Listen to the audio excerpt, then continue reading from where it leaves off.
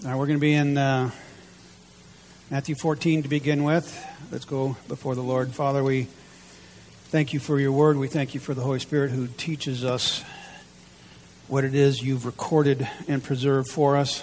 It speaks into our heart and does a work to conform us into the image of Jesus Christ, guides us in this path that we're walking behind Jesus. So, Holy Spirit, come. We ask for the gift of teaching. Uh, and may the name of Jesus Christ be lifted high and magnified here this morning. In Jesus' name we pray. All right, so we uh, continuing study in the life and ministry of Jesus Christ. If you weren't here during the announcements, take a, a note. We're gonna. Everyone else has four bookmarks in their Bibles: Mark 14, John 18, Matthew 26, and Luke 22. We're going to be in all four Gospels this morning. Uh, last week we were, I probably ought to fire this thing up.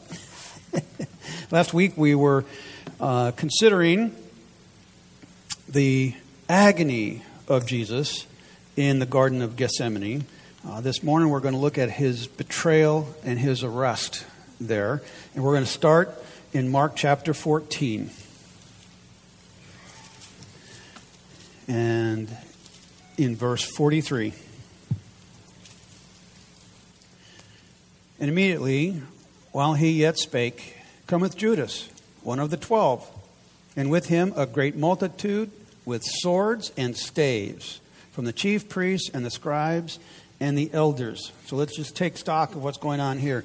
Uh, remember last time uh, Jesus went apart from the eight, he brought the three with him, then he went apart from them and he prayed three times while they slept. Finally, he watched over them while they slept because they're physically and emotionally drained from this day and this night, and the Good Shepherd tenderly watched over his sheep while they slept until Judas was nearby, and then he woke them up because it was the time. And so now we read that Judas Iscariot, and how is Judas, uh, Judas described? One of the twelve. So there's no doubt as to the identity of the betrayer. Judas was a common name. This is Judas Iscariot. We have no doubt who the betrayer is, and he's not alone. He's come with some people. Uh, they are armed, they have swords, they have clubs, as if they're on uh, a mission to capture a violent criminal. And this is a Jewish multitude, by the way, as we consider this and all four Gospels, the leadership of the multitude uh, is the chief priests, the scribes, the elders, and the Pharisees, all Jewish. And the rest of the multitude consists of captain, officers, and soldiers. They're the temple police, if you will. Uh, and what they're on, what they're pursuing, we know, is a case of mistaken identity. They think Jesus is one thing, but Jesus is something completely different. They're mistaken as to his identity, and it's going to have some very grave consequences. And what was true in Isaiah's day, in Isaiah chapter 9, verse 16, for the leaders of this people cause them to err, and they that are led of them are destroyed. That was true in Isaiah's day. That is true in Jesus' day. And it is true to our day. Uh, verse 44 And he that betrayed him had given them a token, saying, Whomsoever I shall kiss, that same is he.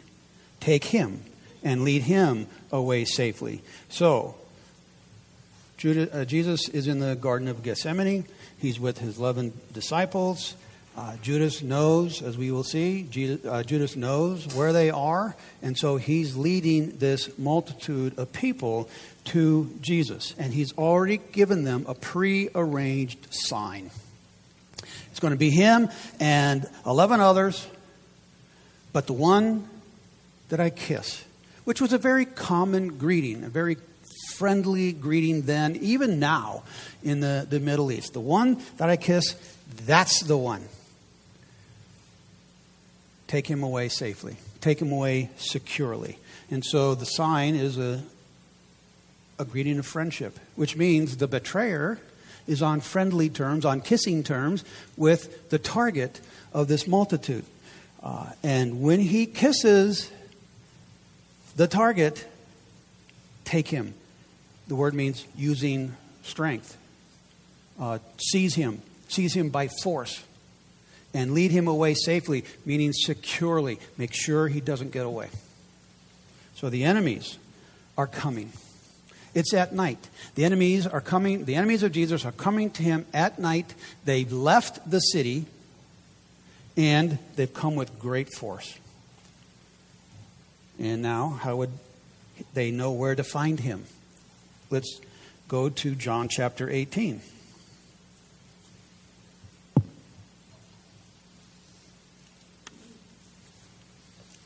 With the aid of your bookmark, you're there already. John chapter 18, last week we considered the first verse, which says, When Jesus had spoken these words, he went forth with his disciples over the brook Kidron, where was a garden, into the which he entered and his disciples. The Garden of Gethsemane uh, was a private garden. Uh, not many people owned gardens. So whoever had this garden was a wealthy man. Uh, perhaps, don't know, perhaps Joseph of Arimathea. Don't know. But anyway, that's where he went. Verse 2 And Judas also, which betrayed him, knew the place. For Jesus oft times resorted thither with his disciples.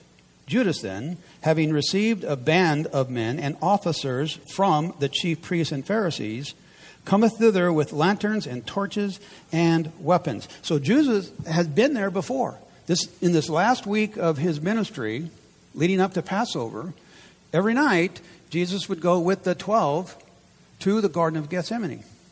Well, this night he went with 11. But the 12th knows where they are because he went there also. And so he comes with uh, the word uh, that the Holy Spirit through John uses is band, a band of men. It means a cohort. And a measure of strength of a cohort is like 500 men. So Judas, Judas has come with 500 men, and they're, they're armed. And they've got torches, and they've got lanterns because physically it's at night.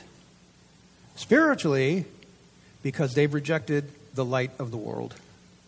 And they do not believe the word of God, which is the spirit, the sword rather, the sword of the spirit. So the darkness has a couple dim- different dimensions to it. Verse 4 Jesus, therefore, knowing all things that should come upon him, went forth and said unto them, Whom seek ye? Jesus, knowing all things that should come upon him. Who is all knowing? Who knows the seen and the unseen? Who knows the past, the present, and the future? God, the creator of time. Jesus knows. Jesus is God. Now, into the garden comes these 500 men marching, uh, well lit, if you will, and well armed. And what did Jesus do? Did he run? No, he went forth. Uh, he is not surprised that they're there. He's not fearful of them. Instead, remember, he's the Good Shepherd, he went forth taking the place of the greatest danger. He steps forward to, if you will, meet, greet, confront these, this band of not so merry men. And he gets between them and his disciples. If you want to get to me, if you want to get to mine, you got to go through me, is the positioning. That's just exactly what David did, right? When in uh, 1 Samuel chapter 17, when he is going to confront the giant, he puts on Saul's stuff, but it doesn't fit. And he goes, I don't need it anyway. Remember, he's just a teenager at this point. Uh, when a lion came, I went out to the lion. When a bear came, I went out to the bear. Just like David went and presented himself to the beasts and, and protecting his flock, because that's what shepherds do, so does Jesus. He is the good shepherd. He is putting himself between danger and his flock. And then when he gets there, he asks him a very simple question Whom do you seek? How's he asking this question? Well, I think as we consider the totality from the four Gospels, he's not asking this with anger. He's not asking this with fear, but he's asking this question with a perfect calm and a peace that surpasses our understanding. And so, in this scene, so far, in this scene, who's in control? Jesus is in control. The devil is not. Judas is not. The Jews, the multitude, are not. Jesus clearly is. Verse 5. They answered him, Jesus of Nazareth. Jesus saith unto them, I am. And Judas also, which betrayed him, stood with them. So there's a whole bunch packed here in uh, three sentences. Uh, the band of men, when asked, Who do you seek? What's their answer? Jesus of Nazareth. Jesus from Nazareth. Notice they did not say, uh, You. Why did they not say you in answer to the question? Because, well, they didn't recognize him. How is it that they didn't recognize him? Well, I think they're blinded by sight because of the darkness, just as they're blinded in their heart by unbelief. They don't recognize Jesus. But in identifying their target, they say, Jesus of Nazareth. They're looking for a man named Jesus from Nazareth. And he is a blasphemous man. He is a danger, both politically and religiously, to this nation. We're here to arrest him. They do not, in so staying Jesus of Nazareth, they do not believe that Jesus is from heaven, as he has said.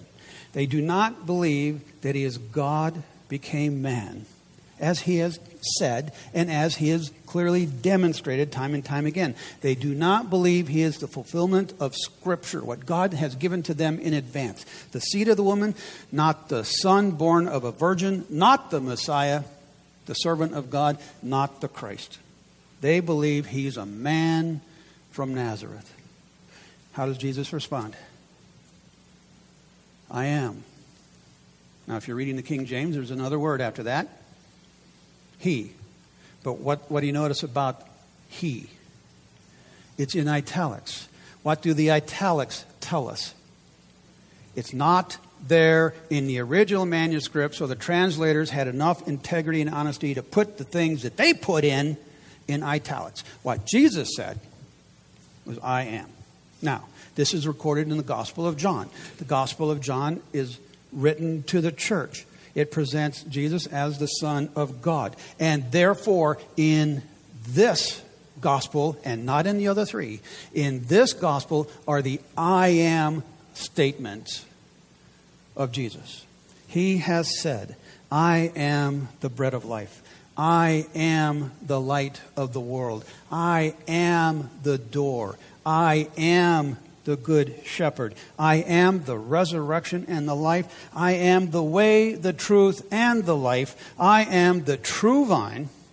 And point blank to the Pharisees in John chapter 8 before Abraham was, I am. And they knew what he was saying because they picked up stones to, to kill him. So, just what he said in John chapter 8, Jesus says again here. You see, he is, what's he saying about his identity? That he's the Lord. Oh, he, is he Jesus of Nazareth? Yeah, yeah. But he's so much more than that. So much more than that. And, and finally, where do we see Judas? He's with the enemies of Jesus. He's chosen, he's picked a side. His affiliation is very clear. Verse 6. As soon then as he had said unto them, I am, they went backward and fell on the ground. So, when God speaks to man, one of two things happens. The man who, is, who humbles himself before God falls forward, falls on his knees, falls on his face. Or the man who does not humble himself before God is pushed backwards by God. What happens here? They're pushed backwards.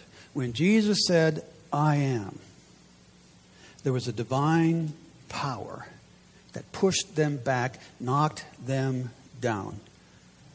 Who? All of them. All 500 of them. Oh, that includes Judas, right? All of them. And so what we have is an unmistakable display before everyone there in the garden, an unmistakable display of the power of Jesus Christ. To those who doubt his identity, he should leave no doubt. But I think there's more to it than that. In the light of Scripture, God who desires none to perish, but all would come to repentance and receive the gift of salvation. God who will that every man would be saved. With this, I am.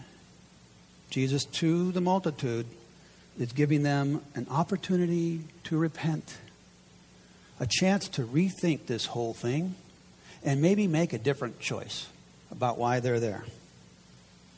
Verse 7. Then asked he them again. Give them another chance. Whom seek ye? And they said, Jesus of Nazareth. Jesus gave the multitude an opportunity to repent, an opportunity to reconsider, to rethink, to make a different choice as to who he is and why they're there. Uh, do they take it? No. They are still looking for Jesus from Nazareth, a man who claims to be equal with God. They are not seeking the Lord, they are opposing themselves, rejecting Jesus' gift of repentance. Verse 8 Jesus answered, I have told you that I am. If therefore ye seek me, let these go their way, that the saying might be fulfilled, which he spake, Of them which thou gavest me, I have I lost none. Jesus said, verse 8, the Holy Spirit through John records verse 9. Jesus did not say verse 9, he said verse 8. Jesus who knew all things that would come upon him, knows why they're here. He knows how this is going to end up. Uh, they've come in a great force against him. But what's, what's going on here? If therefore ye seek me, let these go their way. They've come with a great force to capture him and to arrest him. But who's giving all the orders? Jesus is giving all the orders. He's in charge. God is in control of what's going on here in the garden. But he says to them, If you've come to take me by force, let my disciples go free, unspoken, because your issue is with me. Your issue is not with them. And in so doing, and in so saying, he fulfills, flipping to the left John chapter 17, the words that he prayed to the Father about them John 17, verse 12. While I was with them, that would be the disciples, the eleven, in the world, I kept them in thy name.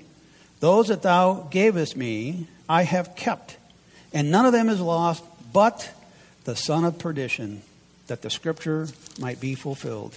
And so now, here in John chapter 18, his words come to pass.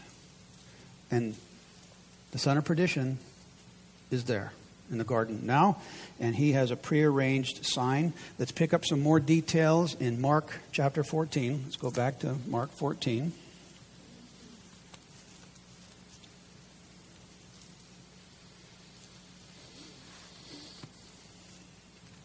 Picking up in verse 45, where we left off. And as soon as he, that would be Judas, as soon as he was come, he goeth straightway to him and saith, Master, Master, and kissed him. And they laid their hands on him and took him. So when this has happened in Mark, Jesus has done chapter 18. Jesus has established his authority over the situation in the garden. He's given the entire multitude an opportunity to repent. They choose not to. Their plan, which is the plan of the chief priests and the scribes and the Pharisees, the leadership of the people who caused them to err, is unchanged. So, Judas, after he gets back on his feet, I mean, think about that. Think about that. Who do you see? Jesus went forth. It's not Judas came first, Jesus went first. Who do you seek? Well, I am. That includes Judas. Once Judas got back on his feet, having been knocked down by divine power, he proceeds to walk directly to Jesus and say, first of all, say, Master, Master. And what do we know? Uh, what's the Jewish thing when a word is duplicated? It speaks of emphasis. The word is master. You are my master. Master, master. Is that true? No, it's a lie. What is true is what is being emphasized in reality is his stab in the back of Jesus by saying him, Master, master. And then he kissed him. This is a different word. The first time we read kiss, it was, you know, the friendly greeting, common. This is a different Greek word. This word kissed means earnestly, an exaggerated demonstration, the prearranged sign. We're going to be there in the dark. Judas is making sure, he's doing a show, he's putting on a show. He is making sure that the armed guys know who the target is. So he amps it up a bit. Uh, wow. Wow. There's more detail for us in Matthew chapter 26, so let's go there.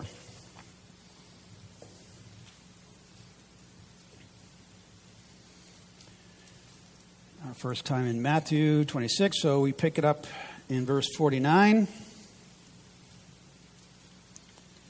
And forthwith he came to Jesus and said, Hail, Master, and kissed him. Uh, Matthew records Ju- Judas's greeting a little differently than does Mark. He says, Hail.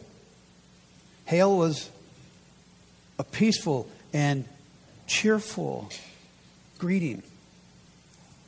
Is Judas's purposes peaceful and cheerful? No. Judas is a flat out liar. He is an actor. He is acting. He's a hypocrite. Not just a betrayer, he's a liar and he's a hypocrite. Wow. And this after having been knocked down by the power of Jesus, which made me wonder, and I have no answer, how bold is evil, even in the face of God. Makes you shake your head. Verse 50. And Jesus said unto him, Friend, wherefore art thou come? Then they excuse me. Then came they and laid hands on Jesus and took him. Uh, Mark does not record Jesus' response to Judas's greeting. But obviously, we get that detail here in Matthew. What is Jesus' response? Friend. Friend. Is Jesus being sarcastic? No. He's being gracious, he's being kind. Now, remember a couple things. Jesus is not surprised.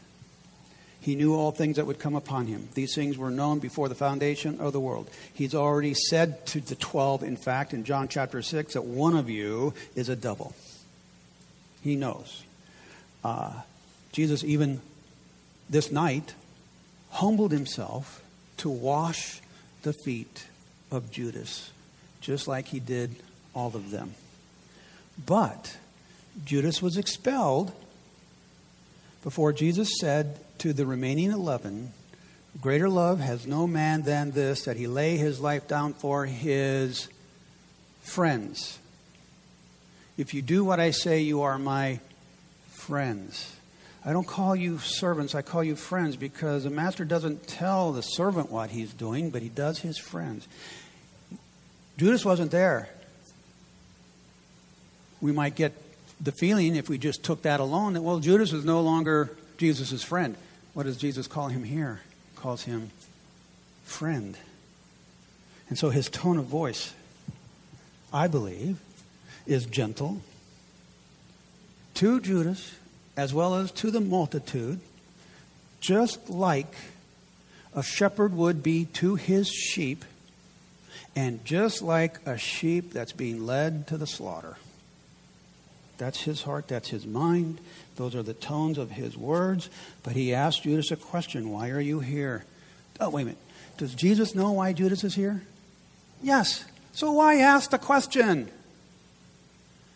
To give Judas an opportunity to come clean and to repent. Jesus went to the max, he went to the end. Judas will not be able to stand before God at the great white throne judgment and said, You are not fair. You didn't give me a chance to repent. Oh, yes, I did. Yes, I did. But did Jesus, uh, excuse me, did Judas accept this opportunity to repent? No, no, he rejected this one too. And so is fulfilled in Psalm 41, verse 9. Yea, my own familiar friend in whom I trusted, which did eat of my bread, has lifted up his heel against me. Now, there's still more details in Luke chapter 22. So let's go to your bookmark in Luke 22. We'll pick up his account in verse 47.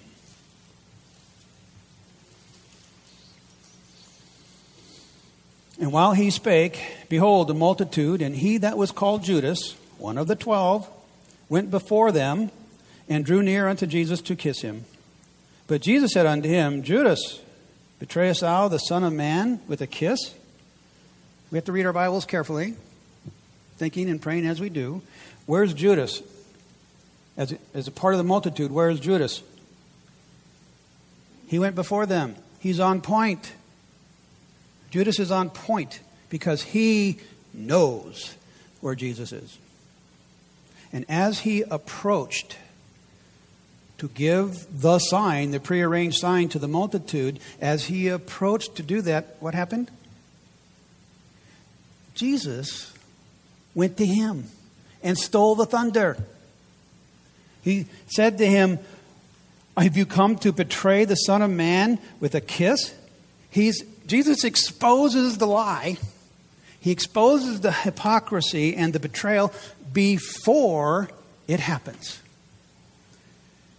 Which makes me wonder shouldn't this have stopped Judas dead in his tracks?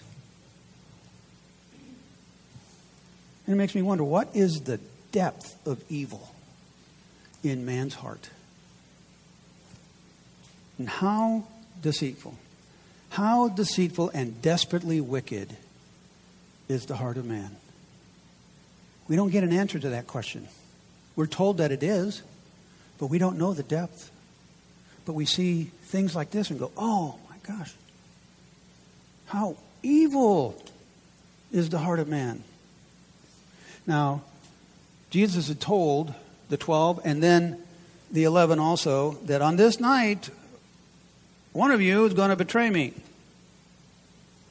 As Jesus goes forward to Judas to ask him, Do you betray the Son of Man with a kiss? He is telling the eleven behind him who the betrayer is.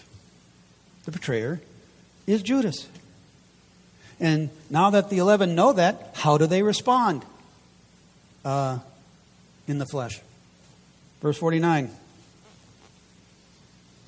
When they which were about him, that would be the eleven, saw what would follow, oh, here's 500 men, They got swords, they got clubs, they got lanterns, they got torches. Things are going to get really ugly.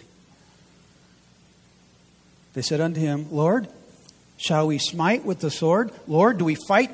We will die with you. Remember? Shall we fight?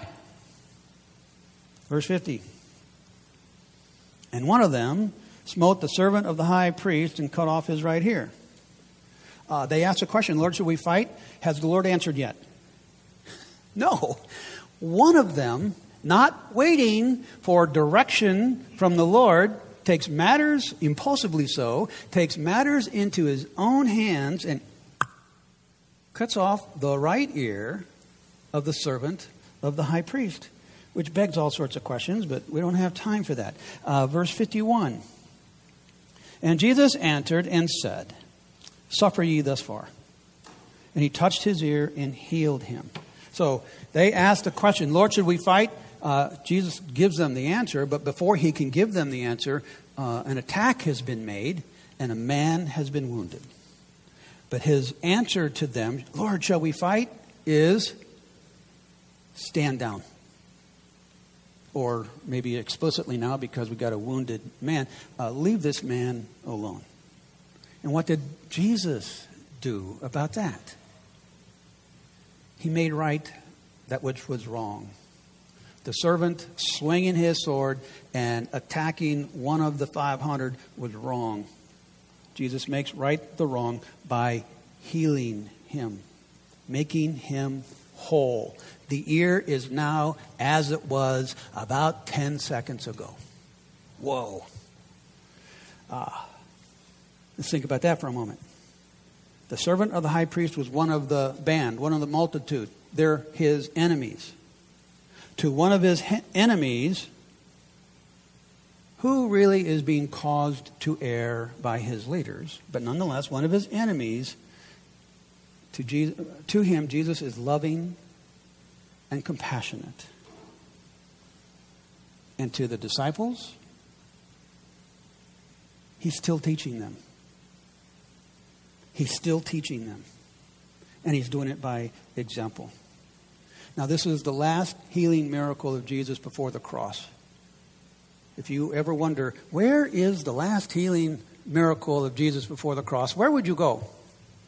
Well, let's see. Uh, the doctor would write about that. That's right, Dr. Luke. It's in the Gospel of Luke. And so, uh, think about this whole scene. Wouldn't this, Jesus, stand down, stand down, boys, and then taking the ear and healing it, wouldn't this action and the love and the kindness with which it was done, wouldn't that have stopped everybody in their tracks and caused them to rethink this whole thing? Wouldn't you think it would? I mean, this miracle, demonstration of the healing touch of God Himself, uh, a demonstration of love and compassion and mercy, should have arrested this whole scene. But it didn't. And the, the leadership who are causing the people to err, the Pharisees, the elders, the chief priests, they should have fallen on their face before their Creator to plead for mercy and to worship Him.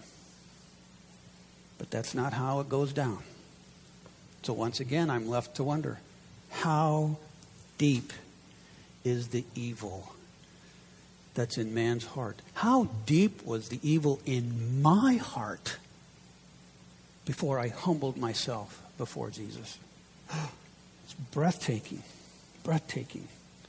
Now, Matthew's got more information for us, so let's go back to Matthew chapter 26.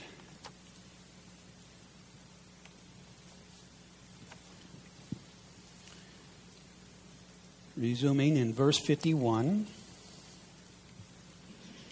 And behold, one of them which were with Jesus stretched out his hand and drew his sword and struck a servant of the high priest and smote off his ear. Then said Jesus unto him, Put up again thy sword into his place, For all they that take the sword shall perish with the sword. Uh, Matt, Mark, Matthew has more of what Jesus said at that moment than just stand down. Uh, he tells them, uh, You live by the sword, you die by the sword. And so, in this moment, which is a tinderbox, what's a tinderbox? Something with even just a little spark is going to blow. And this is a tinderbox and Jesus is in the very center of it. So, in this tinderbox, Jesus is teaching his disciples. He's still teaching his disciples. He's teaching that violence is not the answer to violence. In fact, violence begets violence. And we're going to see, as is revealed in the course of Scripture, that the followers of Jesus Christ are given a different kind of sword. We're given the Word of God, which is sharper than a two edged sword. We're, giving, we're given the sword of the Spirit. This is our weapon. This is how we fight evil and violence. The weapons we we we war in the we walk in the flesh, but we don't war in the flesh. The weapons of our warfare are not carnal. The warfare is spiritual, not physical. We're fighting against principalities and powers, we're fighting against the darkness. We don't need a saber, a physical sword. We need God's sword. So he's planting that seed which will be revealed to them later. Violence begets violence. And I think also unspoken, what he's saying to them is, you know, uh, I don't need your help, boys. You need my help. And the problem that you see with the eyes in your head is not the problem. There's a bigger problem that I've come to fight. Verse 53. He continues speaking, Thinkest thou that I cannot now pray to my Father, and he shall presently give me more than twelve legions of angels? But how then shall the scriptures be fulfilled that thus it must be? The teaching continues. If Jesus wanted to fight these 500 men, whom he all knocked down to the ground with his spoken word, but if he wanted to physically fight these 500 men, all he has to do is ask. And the Father would give him what? Special forces. Yep. A whole bunch of special forces support. 12 legions. A legion is 5,000 men. You know the math? 12 times 5,000? 60,000 angels. Now, let's think about that for a moment. In the history of Israel, during the reign of King Hezekiah, the Assyrians who had pretty much taken the northern kingdom captivity, destroyed Samaria, decided, well, while we're here, we're going down to Jerusalem. We're going to do that too. And they were camped all around Jerusalem. And Hezekiah prayed. And, and, and how did the Lord answer? One angel. What kind of damage did the one angel do? 185,000 Assyrians. So if all things are linear, and they probably wouldn't, we can do the math 60,000 times 185,000 is a little over 11 billion. Could 500 who are going to end up looking like Girl Scout brownies, could they take on 12 legions of angels? All of humanity couldn't. I, Peter, put, oops, I'm getting ahead of myself. Uh, put your sword away. If this was a physical fight, the Father would give me overwhelming power, overwhelming force. So, what does that tell us? What does that tell the disciples? What does that tell the 500? It tells us that by refusing to use overwhelming force.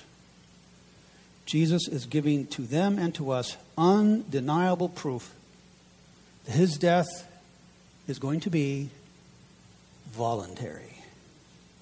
He has the power to lay his life down. He has the power to take it up again. And that's exactly what's going to happen in fulfillment of the scriptures.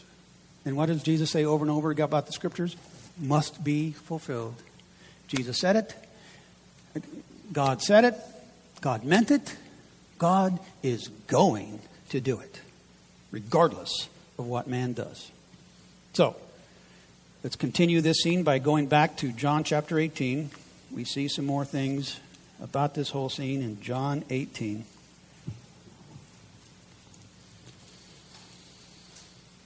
Resuming in verse 10.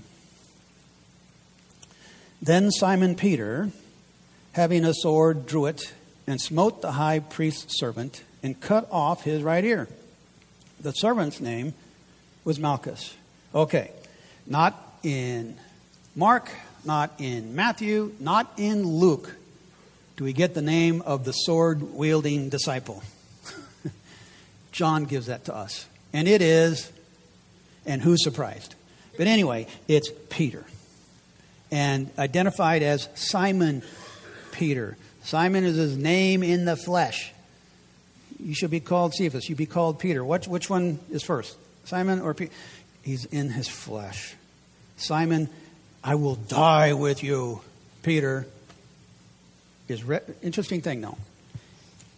He is ready and willing to go to war. With how many? Against how many, rather? 500. Is he a crazy man? Is he out of his mind? Not sure that I believe that he is. He is a courageous man. He displays that time and time again. But he has also said some remarkable things of faith. He just witnessed Jesus say, I am, and every one of those guys were knocked to the ground. It's as if he's saying, Jesus, you and me, we got this. Well, you got it, but I'm going to help you. Uh, so it's, I think, an act of great courage and faith that he's willing to go to war with 500. But in the scheme of things, because we know what happens, in maybe 30 minutes or so, what's Peter going to do? He's going to be confronted by a little maiden girl who says, ah, You're one of his. And three times he will deny that he even knows Jesus, which is going to expose the fear that it's in his heart fear and faith. It's like he's double minded. Wow, he's just like us. That's exactly right. But, all right, so we have Simon Peter's name, but also John gives us the name of the high priest servant. His name is Malchus. Why would the Holy Spirit tell us this man's name? I don't know, but I have some questions. Uh, is Jesus filled with compassion for the lost sheep of Israel? Does Jesus love his enemies? Did Jesus bless someone who came to curse him and persecute him? Did Jesus make him whole rather than condemn and destroy him? Did Jesus return good for evil and therefore overcome evil with good? Yeah. Do you think Jesus' sword pierced Malchus's heart? Uh, do you think love conquered hate and violence in Malchus's heart? Do you think one day we're going to meet this man, Malchus? And maybe some of the 500 who were there? Yeah, so at least we know his name. Verse 11. Then said Jesus unto Peter, Put up thy sword into the sheath. The cup which my Father hath given me, shall I not drink it? Not recorded in Mark, not recorded in Matthew, not recorded in Luke, is this question from Jesus to Peter, and I think it's a question that is going to stick in Peter's mind for the rest of his life. The cup. What's the cup? the cup of suffering, and death, violent death even, for all mankind. The cup which my Father has given me. The Jews are not giving it to me. The Gentiles are not giving it to me. My Father is giving it to me. Shall I not drink it? Shall I not obey my Father, regardless of the personal cost to me? Wow, a piercing, heavy question. And it's a rhetorical question because the answer is obviously yes. I am going to do the will of my Father. And he is telling Peter and the other 10 and the 500 because they're probably close enough to hear. And he's telling us because his words are recorded for us. He's telling all of us that there is no turning back. He is committed he is in his mind and in his will. He is resolved. He's not in the least bit reluctant to lay down his life as his father's substitute sin sacrifice for the sins of man, for my sins and for yours. He was committed to do that.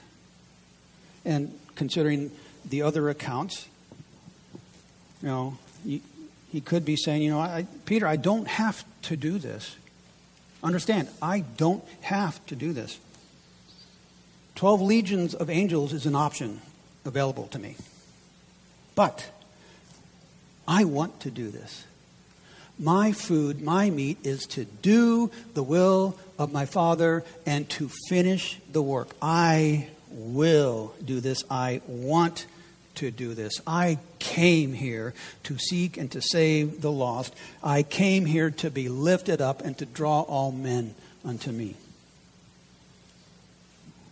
Done. It's established. But now Jesus is going to turn to the multitude who are there watching, listening, come to do something in particular, and he's going to rebuke them, and he's going to rebuke the leaders in particular because they're the ones who are causing the people to err and to lead them into destruction. So let's go back to Luke chapter 22.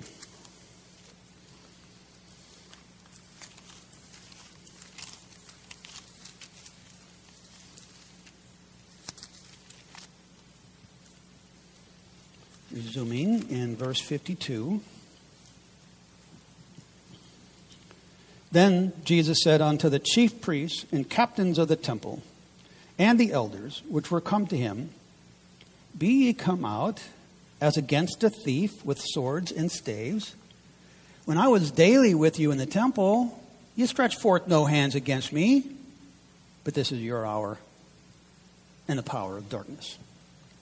So he's speaking to the leaders of the band, and he's calling them out for two things. Number one, he's calling them out for coming after him with such force as if he was a violent robber. A character that he has never displayed, but a character they have repeatedly displayed. So they come reflecting their nature, their heart, not his. They've deceived themselves. He calls them out for it. And the other thing he calls them out for is for having passed up who knows how many opportunities to take him in the temple. After all, the temple was their jurisdiction. They passed on many opportunities to take, to, to take him while he was in the temple, but they didn't take any of those opportunities. Why not? Because every one of those was in broad daylight. And that's not how darkness operates. And every one of those opportunities would have been before thousands of eyewitnesses. And that's not how darkness operates. But this is the way it is because it's their hour. It's the hour of the power of darkness. Darkness, unbelief, sin. The power of darkness is Satan. This is your hour. This is Satan's hour. This is the hour for the devil and his kids. Now, we know that the devil lost the battle with Jesus in the garden. But now, this is his hour with man. And so, what we have going forward now, all the way through the cross, what we have going forward now, moving in peril, synchronized, if you will, the will of God, the will of Satan, and the will of men, all on the same page. But what is God's will? Maybe a little more clearly in Matthew chapter 26.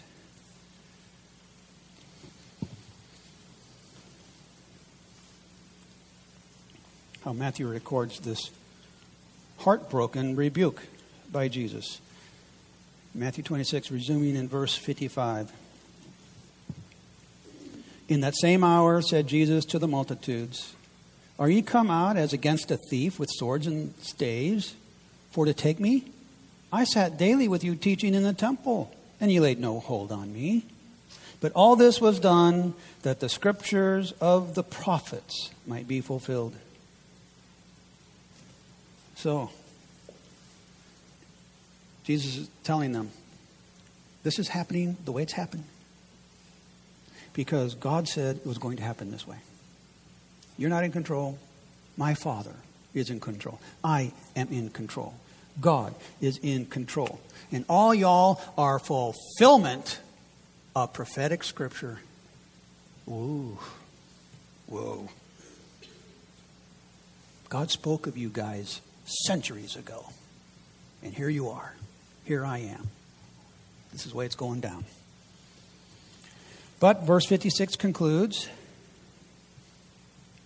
Then all the disciples forsook him and fled. Didn't Jesus tell them earlier in the night that you are going to abandon me? You're going to fulfill Zechariah 9. You're going to flee. He's told them that. And now it happens. Just a little while ago, it seemed like Peter was willing to go to war with 500.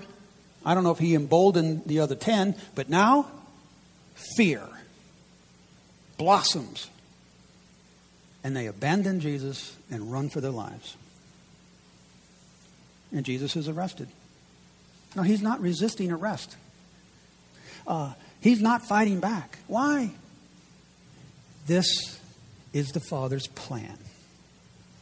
Now, the arrest of Jesus, let's read about that in John chapter 18.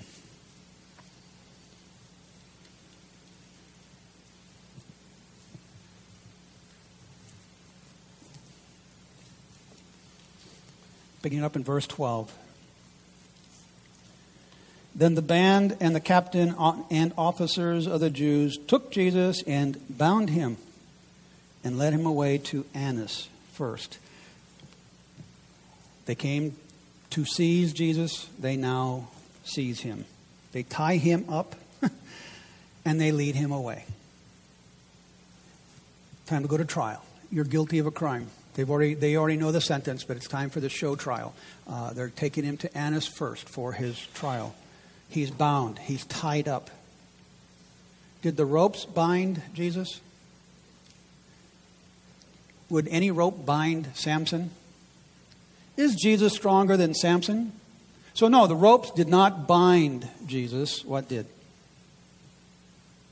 His love for them, and his love for me, and his love for you. There's one final detail in Mark's Gospel, Mark 14.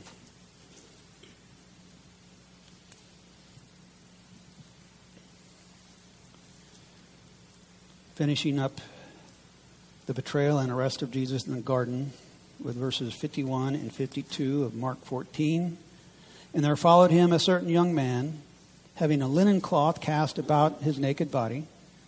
And the young man, the young men laid hold on him, and he left the linen cloth and fled for them naked. So now we have we have the eleven disciples, right? But they fled. There must now we have a young man. He's not named. He's there too. And the temple police grab him, get a hold of his garment, and he gets rid of the he gets out of the garment and he flees naked. Who is this? Well, it's only speculation. This is the gospel of. But whose gospel is it? It's Peter's. Mark transcribed. Mark wrote. It's assigned to him, but these are this is Peter's. Now, could this be John Mark? He would have been a teenager about this time. That qualifies as a, a young man. Uh, is this Mark? Speculation. What does Scripture say? Doesn't. End of story. That's all we need. But it's part of the thing. So, the arrest, the betrayal, and the arrest of Jesus Christ in the Garden of Gethsemane. There is a lot of very poignant application for both the believer and the unbeliever. So let's take the believer first. Those of us who have put our faith in Jesus Christ, who are new creatures in Christ, who trust in Him. A couple of things. First of all, Jesus is always teaching us. He never stops teaching us. Are we always teachable? That's on us. We have to receive.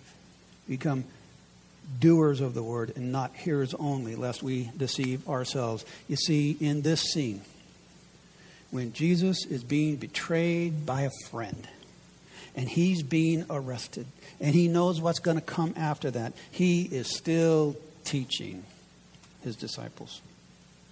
And so he is teaching us in every circumstance, in every circumstance, no matter how heavy, no matter how dire, no matter how crushing, Jesus is there teaching. What's he teaching us? Look at me. Don't look at the circumstance. Look at me. Eyes on me. Keep eyes on me. Because we know that circumstances are fleeting. But Jesus is forever. Keep your eyes on forever. Focus on forever, not on the fleeting. And no matter how big the circumstance is, who's bigger? Always. Jesus is always bigger. And he's also saying to us, you know, keep, keep your eyes on me. Trust me. I see, I know, I care. I got this. Just trust me. And so this kind of harkens back to one of the applications from last week. It takes more faith to surrender to the will of our Father in heaven than it takes to ask Him to help us according to our desire. He's teaching us faith. He's always teaching us faith. Second thing for us believers the exhortation to be Christ like. in every circumstance, be Christ like. In this awful situation, Jesus is true and faithful. And therefore, we're to be Christ like in every circumstance. And Jesus taught us by words, and he taught us by example.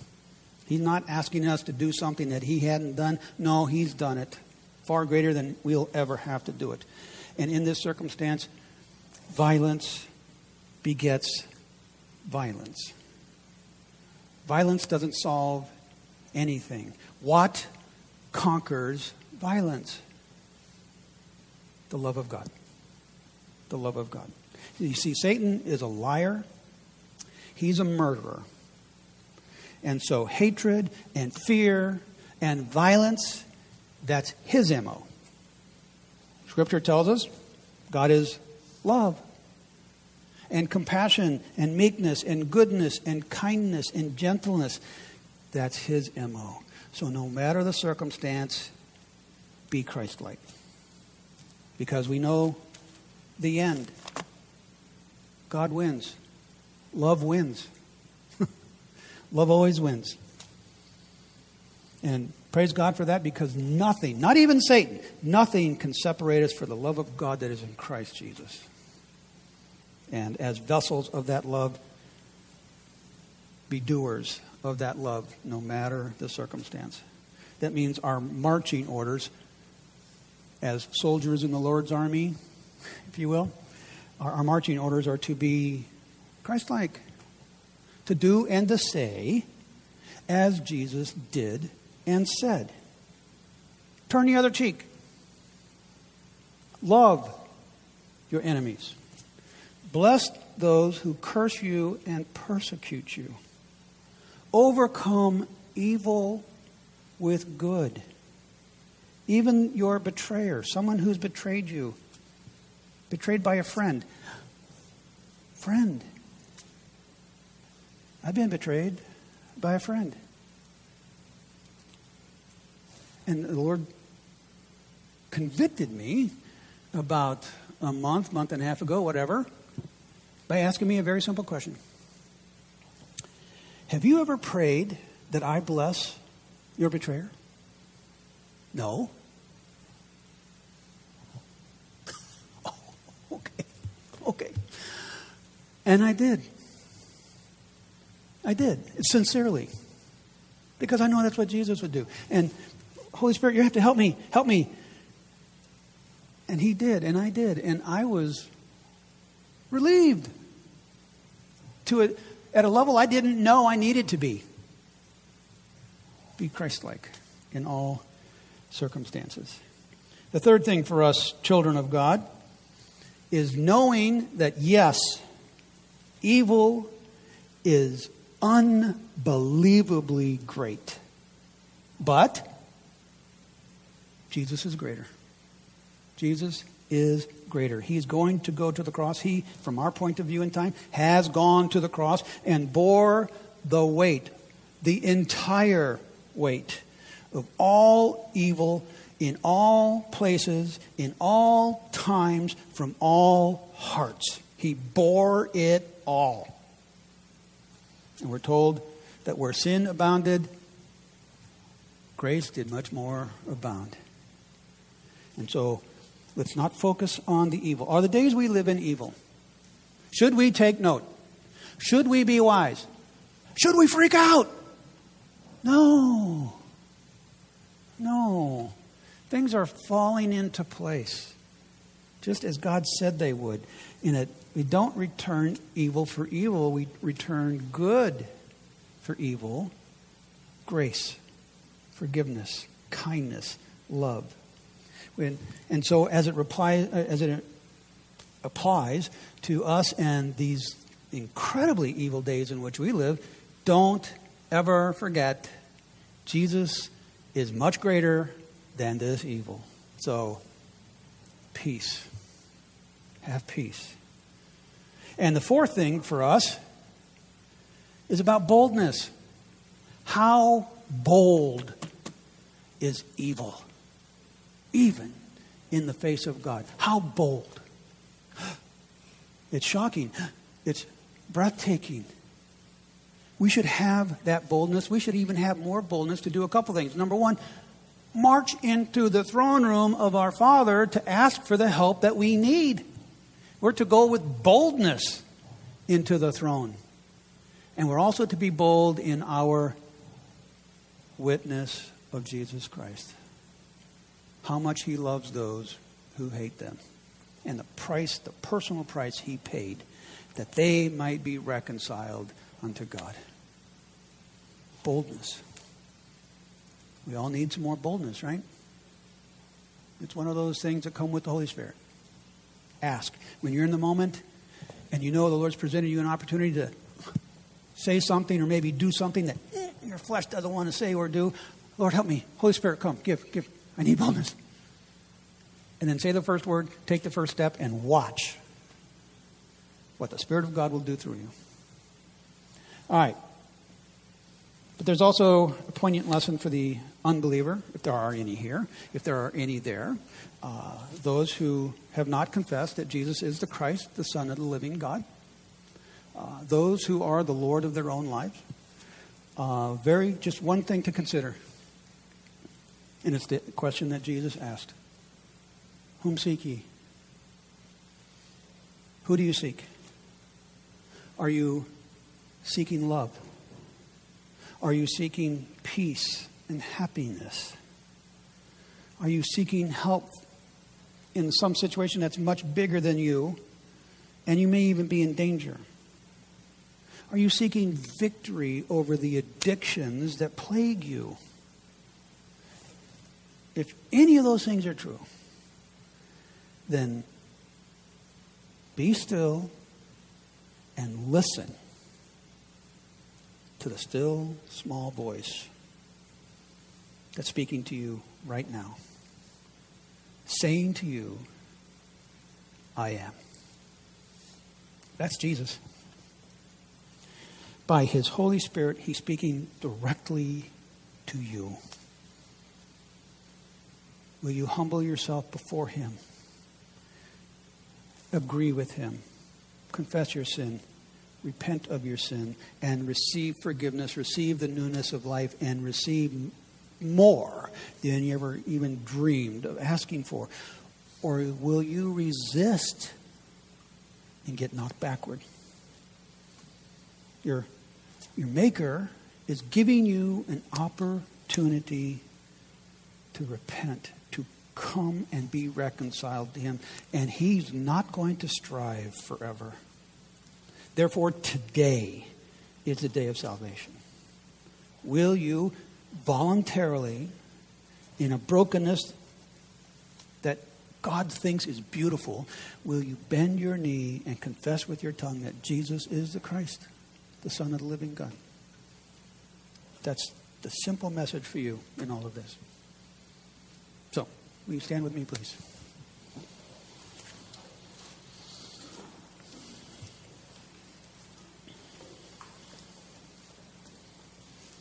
Father, we thank you for your word. We thank you for the Spirit who is our teacher, who is our guide into all truth, and all these things are true. In a horrific scene, if we were to put ourselves in Jesus' place and imagine these things happening to us, in a horrific scene, Jesus did not condemn those who've come to take him. No, on the contrary. He came to take their sin. And Lord, we relate. When you came to us and said, I am, you didn't come to condemn us. You came to save us. You came to take our sin. And Lord, we praise you for doing that. Thank you for relieving us of that burden. And thank you, by your grace, giving us something we do not deserve your life. And so all the honor, all the praise, and all the glory is yours. In Jesus' name we pray. Amen.